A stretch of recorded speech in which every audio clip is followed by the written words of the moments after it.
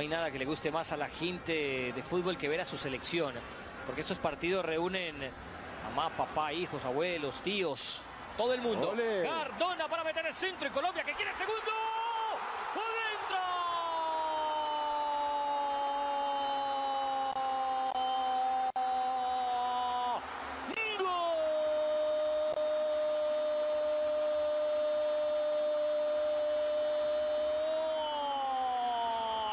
De Colombia al 48, el que faltaba, qué partido se ha jugado.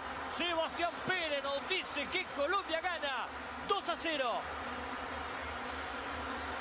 Aquellos que están en el estadio apuntan que Sebastián Pérez está jugando probablemente por un accidente. Él o Cardona, que son los que se juntan en esta jugada, porque Abel Aguilar sufrió un inconveniente en el calentamiento. Bueno, Abel Aguilar no está, pero está Cardona, que le rompió la cintura al sector derecho de la defensa de Ecuador. Por sorpresa aparece Sebastián Pérez de la pizarra de Peckerman.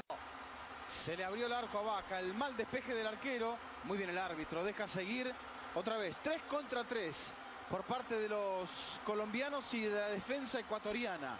Muy inteligente James. Pone la pelota en el hueco para Cuadrado. Dijimos Cuadrado llegando de frente al área es una garantía.